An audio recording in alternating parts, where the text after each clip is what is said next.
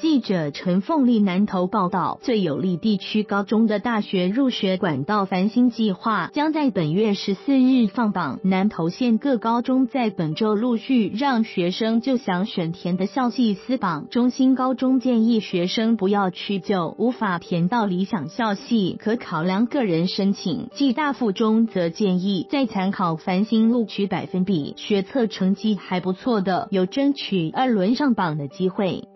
排序第一的同学请上台。国立中心高中今天一日进行繁星推荐校内模拟私榜，高三学生依校内排名综合学测分数后的新排序依序上台私榜，每人只有二分钟可选择校系，气氛十分紧张，各班导师都在台下紧盯，以免学生私错榜。校长王延煌表示，学生模拟私榜应该就确定志愿，但明天才正式私榜。有的学生仍会有变数。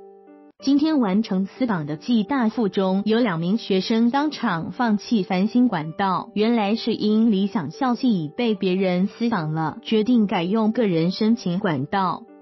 中心高中教务处建议，还没有私榜的学生，万一理想校系被别人选走，不要退而求其次，可改用个人申请管道。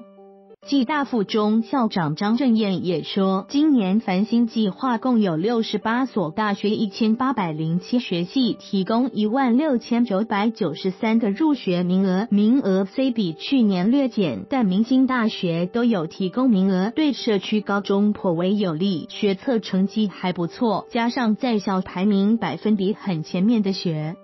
生在了解今年的繁星校系录取名额和百分比后，可争取二轮上榜机会。